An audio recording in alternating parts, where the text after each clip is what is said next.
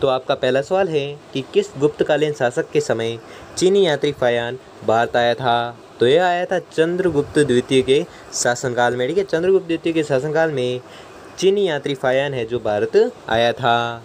और इसकी व्याख्या है कि फायान 406 से 411 ईस्वी तक चंद्रगुप्त के राज्य में रहा था। ठीक है तो आपको याद रखना है। अगला सवाल है कि प्रयाग प्रशस्ति किस लिपि में उत्कीर्ण है? तो प्रयाग प्रशस्ति उत्कीर्ण है ब्राह्मी लिपि में, ठीक है? तो ब्राह्मी लिपि में उत्कीर्ण है कौन सी प्रशस्ति? तो प्रयाग प्रशस्ति। अगला सवाल है कि अलंकृत काव्य शैली का जन्मदाता माना जाता है तो किसे माना जाता है? भारवी को, ठीक है? तो भारवी एक ऐसा व्यक्ति है जिसे अलंकृत काव्य शैली का जन्मदाता माना जाता है।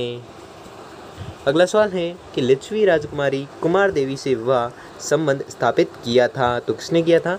चंद्रगुप्त प्रथम ने, ठीक है? तो चंद्रगुप्त प्रथम ने कुमार देवी से विवाह किया था, जो लिच्छवी कुल की थी, ठीक है? लिच्छवी कुल की कुमार देवी से विवाह किया था किसने? चंद्रगुप्त प्रथम ने किया था, ठीक है? तो आपको याद रखना है।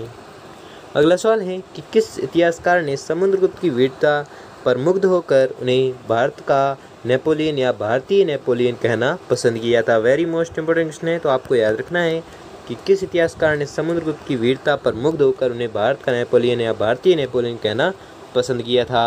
तो वह इतिहासकार था विंसेट स्मिथ। ठीक है, विंसेट स्मिथ वह इतिहासकार था जिसने समुद्रगुप्त को भारत का नेपोलियन कहा था या भारतीय नेपोलियन कहा था। अगला सवाल है कि गुप्त वंशावली का परिचय प्राप्त करने में कौन सा अभिलेख महत्वपूर्ण है? तो वह अभिलेख है स्कंद गुप्त का भीतरी स्तंभ लेख ठीक स्कंद गुप्त का भीतरी स्तंभ लेख है जो गुप्त वंशावली का परिचय प्राप्त करने में महत्वपूर्ण है। कौन सा अभिलेख? स्कंद गुप्त का भीतरी स्तंभ लेख अगला सवाल है कि अभिलेखीय साक्ष्यों के आधार पर गुप्तों का आदि पुरुष था तो कौन था? श्रीगुप्त। ठीक है, श्रीगुप्त है जो अभिलेखीय साक्ष्यों के आधार पर गुप्तों का आदि पुरुष था। कौन? श्रीगुप्त। अगला सवाल है कि चंद्रगुप्त प्रथम ने कौन सा नया संवत चलाया था? तो यह चलाया था गुप्त संवत, ठीक है? तो गुप्त संवत किसने चलाया था? तो आपको याद रखना है, यह संवत चलाया था चंद्रगुप्त प्रथम ने चलाया था। अगला सवाल है कि चंद्रगुप्त प्रथम के बाद उसका उत्तराधिकारी कौन बना? तो बना था समुद्रगुप्त, ठीक है? समुद्रगुप्त हैं जो चंद्रगुप्त प्रथम के बाद उसका उत्तराधिकारी बना था कौन? समुद्रगुप्त। सॉरी अगला सवाल है कि समुद्रगुप्त की सामरिक विजयों के संदर्भ में मुख्य स्रोत है तो मुख्य स्रोत क्या है? प्रयाग प्रशस्ति, ठीक है? प्रयाग प्रशस्ति है जो समुद्रगुप्त की सामरिक विजयों के संदर्भ में मुख्य स्रोत है। अगला सवाल है कि प्रयाग प्रशस्ति के रचयिता है तो कौन है?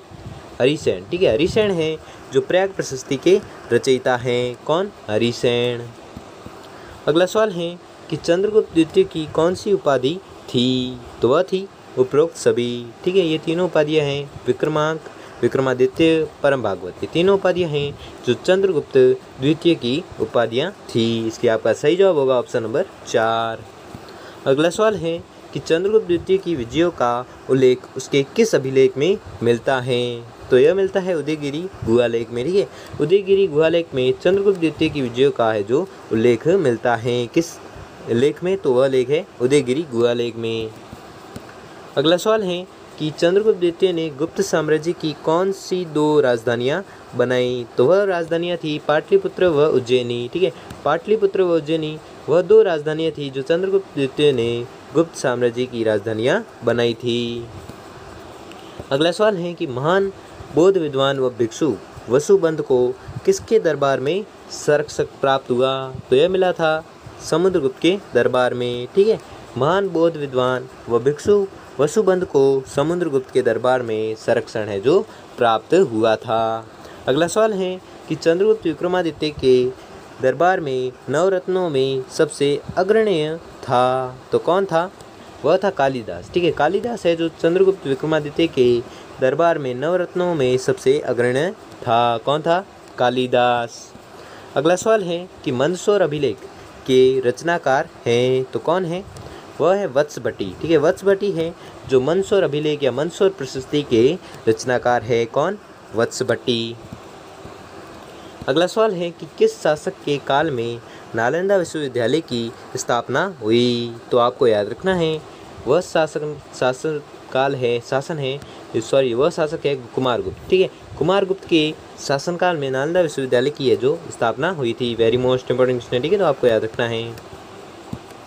अगला सवाल है कि चार सौ छियासठ ईस्वी में चीनी सम्राट सांग के दरबार में राजदूत भेजकर किस गुप्त सम्राट ने सुदूर चीन के साथ मैत्रीपूर्ण संबंध को प्रगाढ़ किया तो आपको याद रखना है, वह था स्कंदगुप्त। ठीक है, क्या प्रश्न है कि चार सौ छियासठ ईस्वी में चीनी सम्राट सांग के दरबार में राजदूत भेजकर किस गुप्त सम्राट ने सुदूर चीन के साथ मैत्रीपूर्ण संबंधों को प्रगाढ़ किया तो वह गुप्त सम्राट है स्कंद गुप्त ठीक है स्कंद गुप्त वह गुप्त सम्राट है जिसने सुदूर चीन के साथ मैत्रीपूर्ण संबंधों को प्रगाढ़ किया। अगला सवाल है कि गुप्तों के पतन का महत्वपूर्ण कारण था। तो महत्वपूर्ण कारण क्या था? एक व दो दोनों, एक व तीन दोनों, ठीक है? तो आपका सही जवाब होगा ऑप्शन नंबर चार, ठीक है? जिसमें क्या है? एक है अयोग्य उत्तराधिकारी और दूसरा है, दूसरा क्या है? हुणों का आक्रमण, ठीक है? ये दोनों कारण से गुप्तों के पतन हो गया था, ठीक है? गुप्तों का पतन हो गया था इन दोनों कारणों से, ठीक है? इसलिए आपका सही जवाब होगा ऑप्शन नंबर चार। अगला सवाल है कि हुणों में सॉरी भारत में हुणों का प्रथम शासक था तो कौन था? तोरमाण, ठीक है? तोरमाण है जो भारत में हुणों का प्रथम शासक था। अगला सवाल है कि किस गुप्त शासक ने हुणों को बुरी तरह पराजित कर विक्रमादित्य की उपाधि धारण की थी? तो यह की थी स्कंदगुप्त ने, ठीक है? तो स्कंदगुप्त वह गुप्त शासक था जिसने गुणों को बुरी तरह पराजित कर विक्रमादित्य की उपाधि धारण की थी किसने स्कंदगुप्त ने। अगला सवाल है कि किस शासनकाल में पहली बार दीवानी और फौजदारी कानूनी भली भांति परिभाषित किए गए? तो यह किए गए थे गुप्त काल में, ठीक है? तो गुप्त शासनकाल में या गुप्त काल में पहली बार दीवानी और फौजदारी कानून भली भांति परिभाषित किए गए थे। किस काल में? गुप्त काल में। अगला सवाल है कि किस अभिलेख में सर्वप्रथम सती प्रथा के बारे में कहा गया है कि गोपराज नामक सेनापति की स्त्री सती हुई? तो आपको याद रखना है, वह अभिलेख था एरण अभिलेख, ठीक है? एरण अभिलेख से प्राप्त होता है कि सर्वप्रथम सती प्रथा के बारे में कहा गया है कि गोपराज नामक सेनापति की स्त्री सती हुई थी किस अभिलेख से प्राप्त होता है? तो यह अभिलेख है एरण अभिलेख। अगला सवाल है कि सोने के सिक्के को गुप्त काल में कहा जाता था तो क्या कहा जाता था? दीनार, ठीक है? दीनार है जो सोने के सिक्कों को गुप्त काल में कहा जाता था। क्या कहा जाता था? दीनार। अगला सवाल है कि गुप्त काल में भारत द्वारा विदेशों में निर्यात की जाने वाली सबसे महत्वपूर्ण वस्तु थी तो क्या वस्तु थी? मसाले। ठीक है, मसाले हैं जो गुप्त काल में भारत द्वारा विदेशों में निर्यात की जाने वाली सबसे महत्वपूर्ण वस्तु थी। क्या थी? मसाले। अगला सवाल है गुप्त राजाओं ने कौन से धर्म को राजश्रेय प्रदान किया? तो वह किया था वैष्णव धर्म को, ठीक है? वैष्णव धर्म को राजश्रेय प्रदान किया था किसने? गुप्त राजाओं ने। अगला सवाल है कि चंद्रगुप्त द्वितीय व समुद्रगुप्त के सिक्कों पर किस पक्षी के चित्र हैं? तो यह है गरुड़ पक्षी के चित्र, ठीक है? गरुड़ पक्षी के चित्र किन सिक्कों पर है? तो आपको याद रखना है बस के चंद्रगुप्त द्वितीय और समुद्रगुप्त के सिक्कों पर हैं। किस पक्षी का चित्र? गरुड़ पक्षी का चित्र अंकित है। अगला सवाल है कि गुप्त काल में प्रसिद्ध बौद्ध दार्शनिक था तो वह था उपरोक्त सभी आर्यदेव व संघ वसुबंध व मैत्रेनाथ और दिग्नाथ। ये जो पाँचों ही हैं, जो गुप्त काल में प्रसिद्ध बौद्ध दार्शनिक थे। अगला सवाल है कि कला व साहित्य के विकास की दृष्टि से किस काल को भारतीय इतिहास का क्लासिक युग अथवा स्वर्ण युग कहा गया है? तो वह काल है गुप्त काल, ठीक है? गुप्त काल को भारतीय इतिहास का क्लासिक युग अथवा स्वर्ण युग कहा गया है। किस काल को? गुप्त काल को। अगला सवाल है कि गुप्तकालीन चित्रकला के अवशेष कहाँ दिखाई देते हैं? तो यह दिखाई देते हैं उपयुक्त सभी में। बाघ की गुफाओं में, अजंता की गुफाओं में, बादामी की गुफाओं में तीनों गुफाओं में गुप्तकालीन चित्रकला के अवशेष है जो दिखाई देते हैं। ठीक है तो आपको याद रखना है। अगला सवाल है कि गुप्त काल की मूर्ति कला का सर्वोत्तम उदाहरण है। तो सर्वोत्तम उदाहरण क्या है? सारनाथ की मूर्ति। ठीक है, सारनाथ की मूर्ति है जो गुप्त काल की मूर्ति कला का सर्वोत्तम उदाहरण है। क्या है? सारनाथ की मूर्ति। अगला सवाल है कि निम्न में से कौन सी पुस्तक कालिदास की है? तो कालिदास की पुस्तक का नाम बताना है। तो कालिदास की पुस्तक का नाम है मालिकाग्निमित्र अभिज्ञान शकुंतलम विक्रमोत्वर्षियम व रघुवंशम। ये चारों नाटक हैं जो कालिदास के सर चा, चारों जो पुस्तकें हैं वो कालिदास की ही है इसलिए आपका सही जवाब होगा ऑप्शन नंबर चार। अगला सवाल है कि प्रसिद्ध गुप्तकालीन विद्वान बास ने किस पुस्तक की रचना की थी? तो बास ने रचना की थी उपयुक्त सभी स्वप्नवास वदता, चारुदत्ता अरुभंग ये तीनों जो पुस्तकों की रचना की थी, यह की थी किसने? बास ने।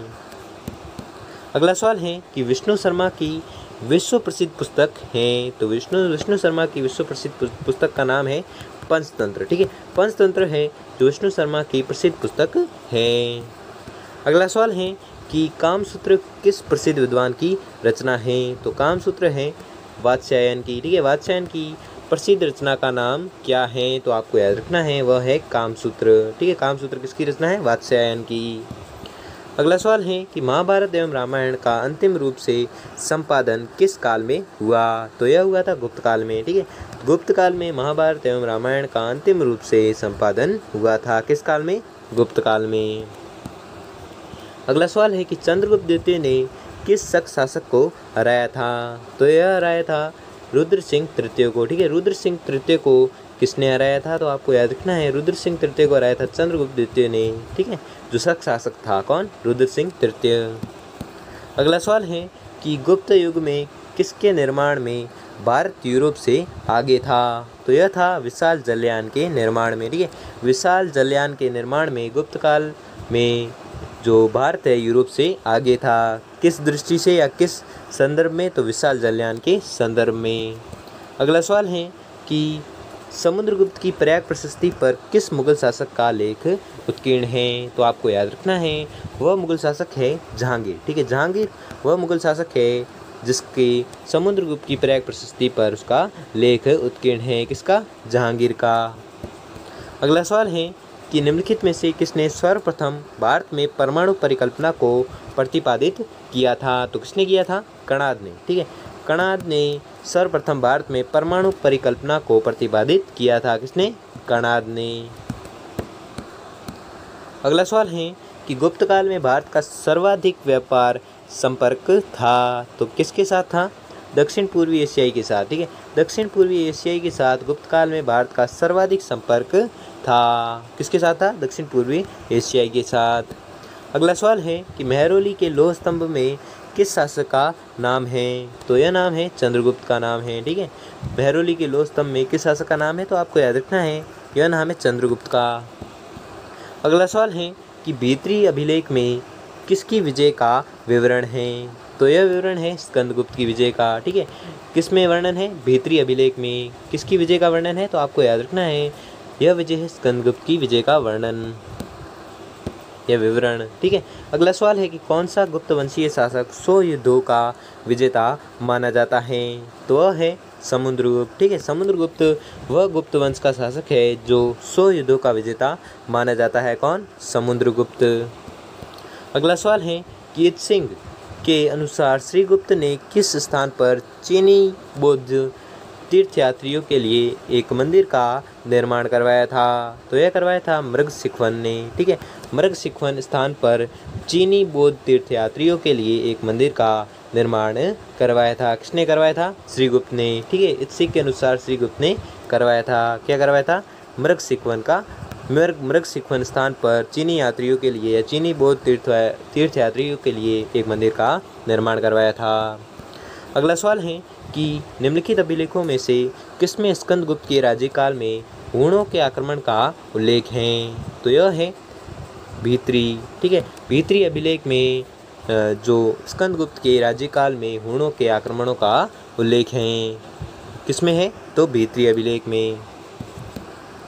अगला सवाल है कि राजग्रहणा मोक्ष राजग्रहण मोक्षानुग्रह, जिसका अर्थ है पराजित राजाओं को उनके राज्य लौटा देना की नीति किस शासक ने अपनाई थी? तो यह नीति अपनाई थी समुद्रगुप्त ने। ठीक है तो समुद्रगुप्त की नीति का नाम क्या है? राजग्रहणा मोक्षा। ग्रहण मोक्षानु ग्रह की नीति किसने अपनाई थी? तो आपको याद रखना है, यह नीति अपनाई थी समुद्रगुप्त ने। और इस नीति के अनुसार क्या था कि पराजित राजाओं को उनके राज्य लौटा देना। अगला सवाल है कि गुप्त युग में पैठन की प्रसिद्धि का कारण था। तो प्रसिद्धि का कारण क्या था? व्यापारिक मंडी। ठीक है, व्यापारिक मंडी है जो गुप्त युग में पैठन की प्रसिद्धि का कारण था। क्या था? व्यापारिक मंडी। अगला सवाल है कि निम्नलिखित में से किस विधा के लिए ब्रह्मगुप्त प्रसिद्ध हैं? तो यह प्रसिद्ध है गणित के लिए, ठीक है? गणित विधा के लिए ब्रह्मगुप्त है जो प्रसिद्ध हैं। अगला सवाल है कि देवगढ़ का मंदिर किसका प्रतीक है? तो देवगढ़ का मंदिर मंदिर है गुप्त स्थापत्य का, ठीक है? गुप्त स्थापत्य का प्रतीक है कौन सा मंदिर? देवगढ़ का मंदिर। अगला सवाल है कि मंदसौर अभिलेख का लेखक कौन था? तो मंदसौर अभिलेख का लेखक था वत्स भट्ट ठीक है वत्स भट्ट है जो मंदसौर अभिलेख का लेखक था। कौन? वत्स भट्ट अगला सवाल है कि चंद्रगुप्त द्वितीय ने किस विदेशी जाति को पराजित किया था? तो यह क्या किया था सको को। ठीक है, सको को पराजित किया था। किसने किया था? चंद्रगुप्त द्वितीय ने। ठीक है, चंद्रगुप्त द्वितीय ने सको को पराजित किया था। अगला सवाल है कि फायान की यात्रा विवरण का नाम है। तो फायान की यात्रा विवरण का नाम है फा को की ठीक है फा को की है जो फायान के यात्रा विवरण का नाम है। अगला सवाल है कि चंद्रगुप्त द्वितीय का काल कौन से धर्म का चरमोत्कर्ष काल था? तो यह था उपरोक्त सभी, ठीक है, बौद्ध धर्म, जैन धर्म, ब्राह्मण धर्म। ये तीनों का है जो चरमोत्कर्ष काल रहा था। किसका? चंद्रगुप्त द्वितीय का काल। ठीक है, चंद्रगुप्त द्वितीय का काल बौद्ध धर्म, जैन धर्म एवं ब्राह्मण धर्म का चरमोत्कर्ष काल रहा था। इसलिए आपका सही जवाब होगा ऑप्शन नंबर चार। अगला सवाल है कि गुप्त संवत का प्रारंभ हुआ था। तो कब प्रारंभ हुआ था? यह हुआ था 319 ईस्वी में। ठीक है 319 ईस्वी में गुप्त संवत का है जो प्रारंभ हो गया था। अगला सवाल है कि एलोरा की गुफाएँ स्थित है। तो एलोरा की गुफाएँ स्थित है कहाँ पर? महाराष्ट्र में। ठीक है तो महाराष्ट्र में कौन सी गुफाएँ स्थित है? तो आपको याद रखना है, यह स्थित है एलोरा की गुफाएँ। अगला सवाल है कि अजंता की चित्रकला किस धर्म से संबंधित है? तो अजंता की चित्रकला संबंधित है बौद्ध धर्म से। ठीक है तो बौद्ध धर्म से संबंधित चित्रकला का नाम क्या है? तो वह है अजंता की चित्रकला, जो बौद्ध धर्म से संबंधित है। अगला सवाल है कि निम्न में से किस गुप्त शासक को संगीत से विशेष प्रेम था? तो वह गुप्त शासक था समुद्रगुप्त, ठीक है? समुद्रगुप्त वह गुप्त शासक था जिसको संगीत में विशेष प्रेम था। अगला सवाल है कि हुणों का उल्लेख खालिस्तान में हुआ है। तो किस प्रस्तुति में या किस अभिलेख में हुणों का है जो उल्लेख हुआ है? तो आपको याद रखना है, वह अभिलेख है स्कंदगुप्त के भीतरी स्तंभ लेख स्तंभ अभिलेख में हुणों का उल्लेख हुआ है, किसमें? स्कंदगुप्त के भीतरी स्तंभ अभिलेख में। अगला सवाल है कि समुद्रगुप्त ने किस प्रकार की स्वर्ण मुद्राएँ जारी की थी? तो यह की थी, उपरोक्त सभी प्रकार की, ठीक है? गरुड़ प्रकार और धनुर्धारी प्रकार की परशु प्रकार और अश्वमेघ प्रकार की व्याघ्रहीनन प्रकार और वीणावादन प्रकार की, यानी कि आपका सही जवाब होगा ऑप्शन नंबर चार, उपरोक्त सभी प्रकार की है जो स्वर्ण मुद्राएँ जारी की थी। किसने? संचम समुद्रगुप्त ने, ठीक अगला सवाल है कि निम्नलिखित में से समुद्रगुप्त के अभिलेख प्रमाण कौन से हैं? तो वह है उपयुक्त सभी, ठीक है? प्रयाग प्रशस्ति, नालंदा व गया ताम्रपत्र और एहरण स्तंभ लेख। ये तीनों हैं जो समुद्र समुद्रगुप्त के अभिलेख प्रमाण हैं, ठीक है? तो आपको याद रखना है, इसलिए आपका सही जवाब होगा ऑप्शन नंबर चार, उपयुक्त सभी। अगला सवाल है कि गुप्त प्रशासन में प्रथम कुलिक पदाधिकारी से तात्पर्य है। तो क्या तात्पर्य है? इससे तात्पर्य है कि मुख्य शिल्पी, ठीक है? मुख्य शिल्पी से तात्पर्य है क्या? गुप्त प्रशासन में प्रथम कुलिक पदाधिकारी से तात्पर्य क्या है? मुख्य शिल्पी। अगला सवाल है कि किस गुप्त शासक ने मुद्राओं पर गरुड़ के स्थान पर मयूर का अंकन प्रारंभ किया? तो यह किया था कुमार गुप्त प्रथम ने, ठीक है? कुमार गुप्त प्रथम वह शासक था जिसने मुद्राओं पर गरुड़ के स्थान पर मयूर का अंकन प्रारंभ किया। अगला सवाल है कि गुप्त शासक चंद्रगुप्त प्रथम का उत्तराधिकारी था तो कौन था? समुद्रगुप्त, ठीक है? समुद्रगुप्त है जो गुप्त शासक चंद्रगुप्त प्रथम का उत्तराधिकारी था। कौन था? समुद्रगुप्त। अगला सवाल है कि गुप्त प्रशासन में धर्म संबंधी मामलों का प्रधान अधिकारी जो सार्वजनिक मंदिरों का भी प्रबंध करता था, वह था तो वह कौन था? विनय स्थिति स्थापक। ठीक है, विनय स्थिति स्थापक जो सार्वजनिक मंदिरों का भी प्रबंध करता था, वह कौन है? विनय स्थिति स्थापक। अगला सवाल है, और यह आज का अंतिम सवाल है कि चंद्रगुप्त प्रथम ने किस राज्य की राजकुमारी से विवाह कर अपनी स्थिति सुदृढ़ की थी? तो चंद्रगुप्त प्रथम ने किस राज्य की राजकुमारी से विवाह किया था? तो वह थी लिच्छवी राज्य की राजकन्या से या राजकुमारी से विवाह कर अपनी राज्य की स्थिति है जो सुदृढ़ की थी। ठीक है, किस राज्य की थी वह? लिच्छवी राज्य की राजकुमारी थी, जिसने विवाह किया था किसने? चंद्रगुप्त प्रथम ने। ठीक है, दोस्तों, आपको वीडियो कैसा लगा हमें कमेंट बॉक्स में कमेंट करके ज़रूर बताएँ। अगर आपके लिए ये वीडियो थोड़ा सा भी हेल्पफुल साबित हुआ हो तो वीडियो को लाइक और चैनल को सब्सक्राइब कर लीजिए। धन्यवाद।